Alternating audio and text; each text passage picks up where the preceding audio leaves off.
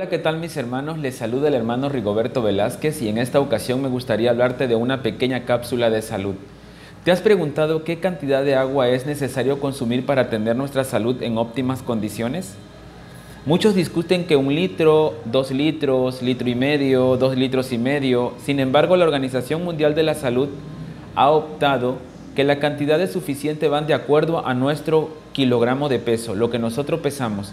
Si tú pesas 36 kilos, deberías de consumir litro y medio de agua.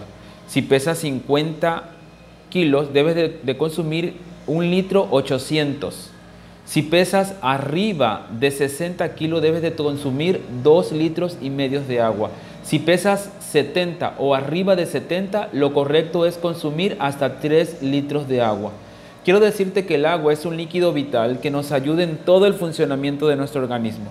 Consideremos que nuestro cuerpo está formado por más del 60% de agua. Es decir, que si dividiéramos el cuerpo en tres partes, dos partes constituyen agua y solamente una parte en materia sólida.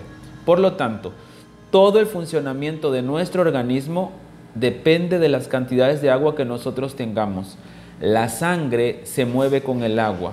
Nuestro sistema de defensa se mueve con el agua.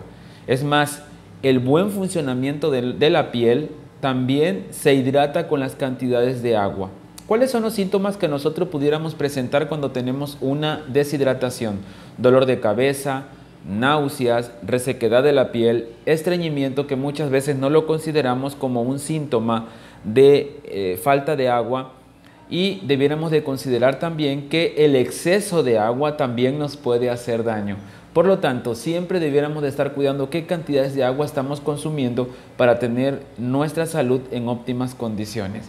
Espero verte en la próxima cápsula eh, y te invito también que te inscribas a la página de Solución Inquebrantable porque es una página donde vamos a estar hablando de salud, donde se va a estar hablando de diferentes temas y uno de ellos también son temas de salud. Que el Señor te bendiga. Hasta la próxima.